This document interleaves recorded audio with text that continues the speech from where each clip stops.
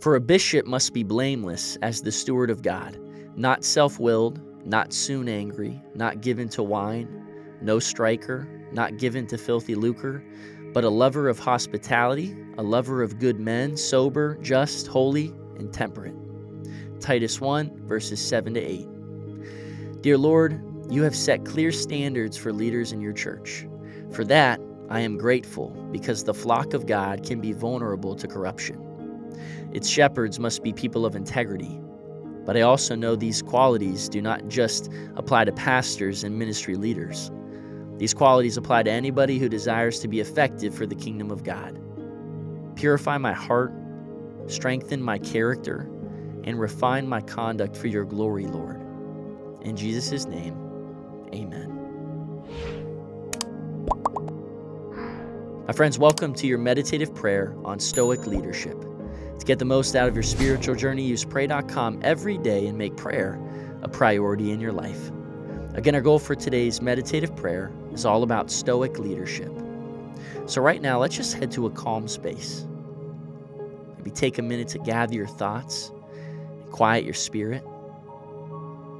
Close your eyes and just breathe easy. Now, fix your attention on God and on what He has for you this day.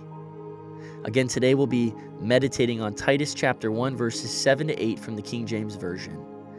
They read, For a bishop must be blameless as the steward of God, not self willed, not soon angry, not given to wine, no striker, not given to filthy lucre, but a lover of hospitality, a lover of good men, sober, just, holy, temperate.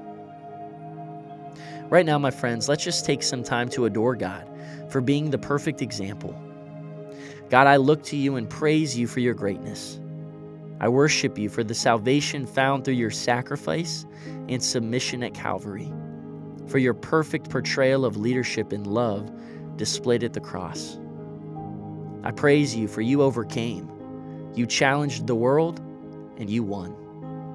I extol you for your life is a living example of hope and victory for all of humanity. You see, leaders lead by example. It is human nature to mimic and mirror observed behavior, especially of those perceived as powerful or in positions of authority. As a godly leader, you are called to imitate Christ and to lead by example.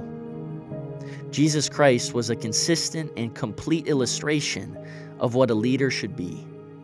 He lived to serve and served in love, placing the needs of others before his own, and seeking to do God's will in all things. As Christ lived and led, so should you.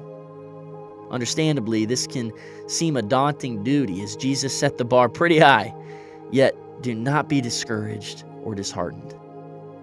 God knows the task of leadership is not easy and that you are not perfect. You will war with yourself and struggle with your flesh to lead as Christ did. Nonetheless, you must not allow imperfections and insecurities to stop you or to keep you from striving to imitate Christ and to lead by example. So, right now in this moment, confess your sins and shortcomings to the Holy Spirit, and He will care for you and aid you along your path. Now, let's make the transition by taking a moment just to dwell on God's amazing leadership. Think of how Jesus acted while here on this earth. Thank Him for submitting Himself in obedience to God's will, for continuously and wholeheartedly loving others in kindness and humility. Thank Him for setting aside His personal desires for the benefit of mankind and for being the perfect example to be emulated. Give thanks to God for His leadership over you yesterday today, and always. My friends, God is present and He is listening to you. Jesus was intimately acquainted with the burden of leadership. He is aware of the struggle and hardship associated with being looked up to. As Jesus persevered in setting the example through his actions, you will too, because you're not alone. So, right now in this moment, ask the Holy Spirit to help you submit your whole heart to Christ. Ask Him to empower you with conviction and determination to love as Christ loved, to live as Christ lived, and to lead as Christ led.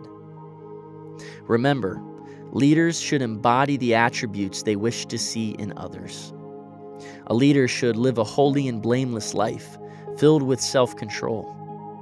For leadership requires a life of humility and righteousness, filled with peace, hospitality, love, wisdom, and lacking in greed.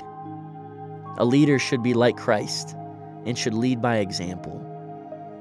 So be encouraged by God's love and his testimony, and strive to love and to lead others in God's likeness, and I promise you will reap God's blessings.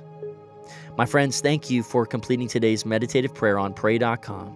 By incorporating this healthy habit as a daily practice, I believe not only are you making prayer a priority, but you're also strengthening your walk with God. As always, my name is Zach Clinton, Vice President of the American Association of Christian Counselors, and we love being a part of your life. Hey, to find out a little bit more information, inspiration, help, hope, and encouragement, I would encourage you to visit our website at aacc.net. Again, that is aacc.net.